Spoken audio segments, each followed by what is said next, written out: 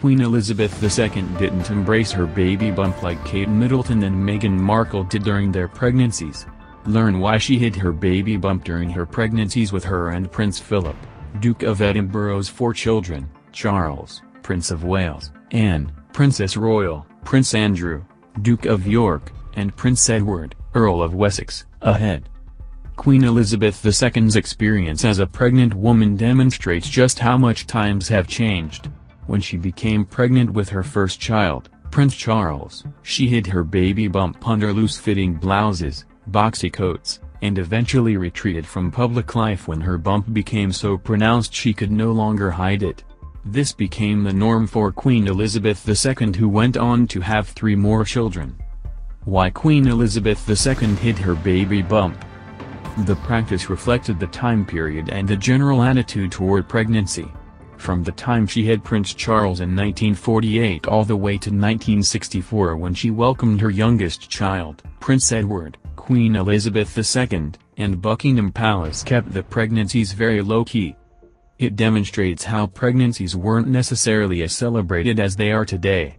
People, royals included, are more open about pregnancies today than they have been in the past. Queen Elizabeth II didn't exactly announce pregnancy. According to the New York Times via Express, Buckingham Palace released a perplexing statement announcing the royal wouldn't be seen in public. Her Royal Highness the Princess Elizabeth will undertake no public engagements after the end of June, the statement read.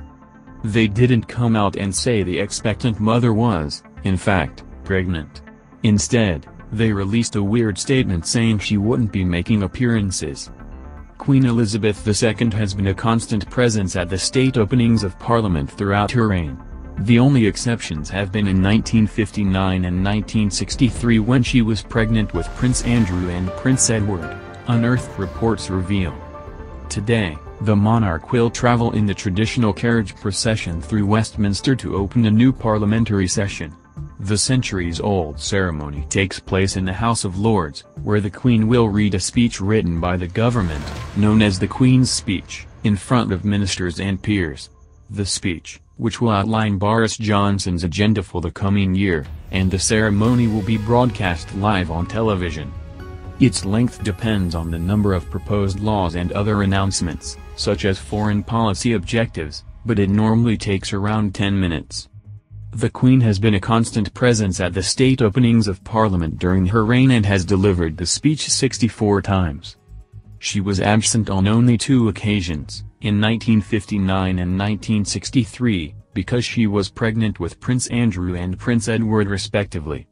Back then, there was a different general attitude towards pregnancy. Unlike today, the time she had Prince Charles in 1948 all the way to 1964 when she welcomed her youngest child, Prince Edward, the Queen and Buckingham Palace kept the pregnancies very low-key. Buckingham Palace released perplexing statements announcing the monarch would not be seen in public, instead of her pregnancy. In 1948, the statement read, her Royal Highness the Princess Elizabeth will undertake no public engagements after the end of June. Moreover, not only the Queen was not photographed while pregnant, but no photographs of her with her children were published until their christenings.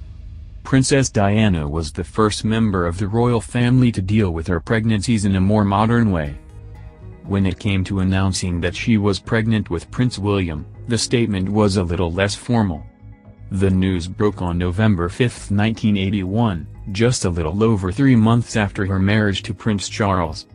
A palace statement said, the Prince and Princess of Wales, the Queen and the Duke of Edinburgh, and members of both families are delighted by the news. The princess is in excellent health. Diana also spoke openly about her pregnancy to the media and she was the first royal to give birth in that hospital. Diana reportedly told biographer Andrew Morton, I couldn't handle the press pressure any longer, it was becoming unbearable. It was as if everybody was monitoring every day for me. She also started the tradition of posing in front of the steps of St. Mary's Lindo Wing after William's birth.